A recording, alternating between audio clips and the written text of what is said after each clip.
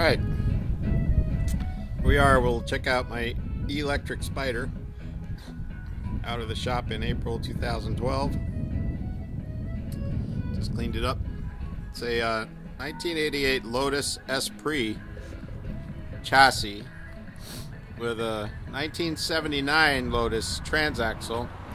And then what I did is I built a custom body out of fiberglass and aluminum. Uh, and I based it on a Porsche Spyder. Uh, if you remember from 1955, the James Dean car. And uh, also like Mercedes from that year. So I did all the paneling myself. I built an, a mold for the tub and uh, made a composite uh, shell that I bolted down in epoxy to a Lotus frame. Uh, you can see from this angle how wide the car is. It's massive wide. Um, takes away some of the spider look and gives it more of a Mercedes racer look from the 50s. Uh, so I did all these aluminum panels. It's kind of an illusion because the car is not aluminum, but I put the panels over fiberglass um, bucks. And then I would cut out fiberglass from underneath to save weight. But I shaped these panels over all of the fiberglass by hand, uh, making sure that I never had to make a compound curve, which is uh, anybody who does metal work knows. Um, is the problem with this kind of thing. Um, I had Forgeline make custom wheels with custom offset, um, aluminum. I think they're 17 inch. Um, this is one of the panels where uh, I had to be real careful. Those are that that's bent at the limit of a compound curve. Um, this is a Ram air tube. To cool the electric motor, they tend to run hot. Uh, my interior, I base it on an airplane. Um, I really love Mustang, you know, airplanes, so that was where I got the aluminum feeling. And then the and it's riveted. Uh, but the interior cockpit is more like a fighter plane. Um, so what you do is you lay down in these seats that I designed. I did the upholstery myself too. Um, and I used aircraft component components from Aircraft Spruce and um, I think is the name of the place. And you can see that the Lotus is a backbone chassis. And what I did is I basically hung my uh, entire body on the chassis.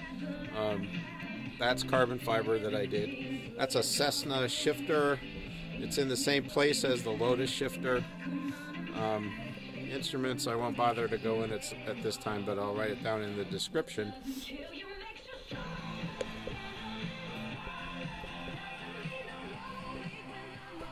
The windshield I cut down from a 1957 Chevy rear windshield. Um, in my state, Connecticut, you need to have safety glass, and it has to have the uh, stamp on the side that says that um, it's shatterproof and meets the DOT standards. This one does. Um, it's a teeny bit too narrow, I think, so I'll probably just put a piece of plastic molding on top to pass inspection.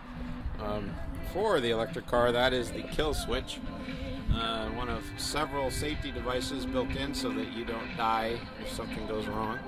Um, here's another kill switch right here. Uh, this is the button of death. So it's out when you're driving, right? And you hit it and it cuts everything off. The wheel is a Grant uh, steering wheel. It's removable. Um, I wanted that feature so that basically so you can get in because um, it's really tight to get in. See if I can put this on with one hand. Sorry about it.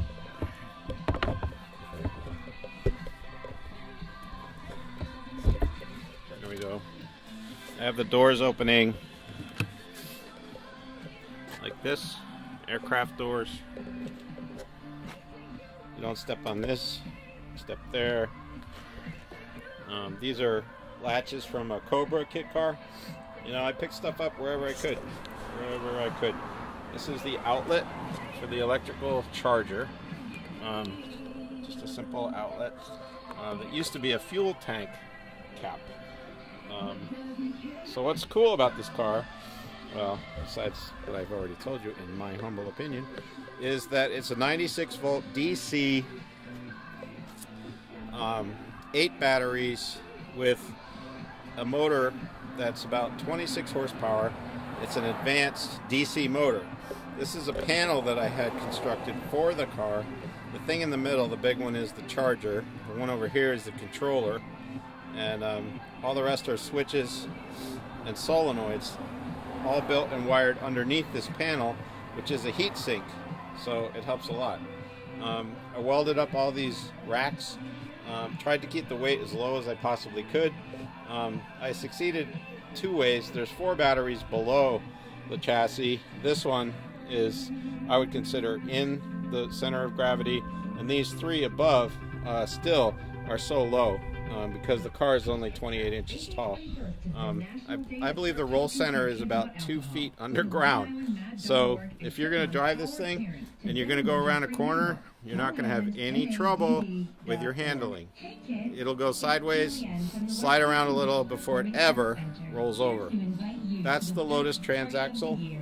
Um, Lotus makes amazing cars. I think the actual transaxle axle was made by uh, Renault, uh, I believe, that year, and it's a five-speed. It's aluminum. It's really snickety.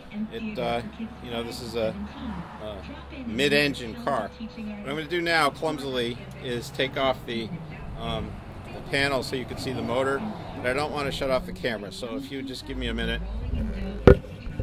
And you can start the fun even earlier when you bring your little one to our family-friendly performance Okay, there's the motor. Um,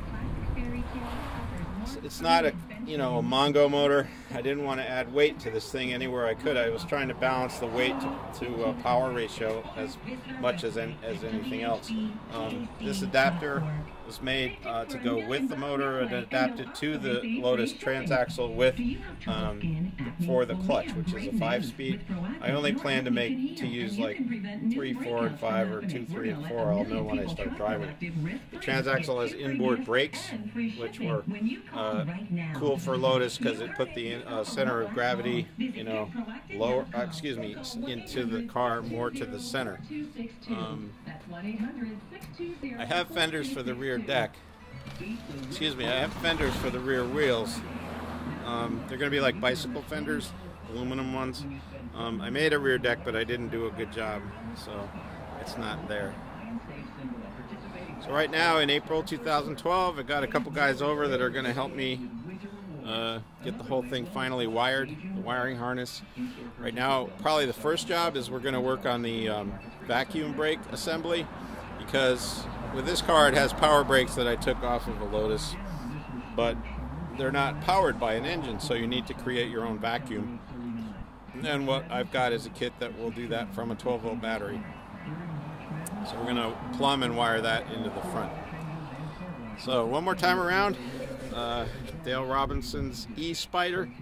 Um, I've done some autocrossing, solo one racing. I've taken the Skip Barber course a couple times at Lime Rock. I intend to get this up there um, on the track. I also like to do some electric car events.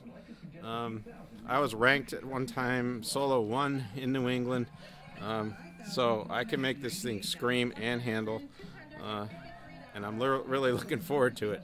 Um, I hope you enjoy this. If you have any questions, just message me, email me. Um, we're going to do this this year, 2012, and I'll keep you posted on our progress.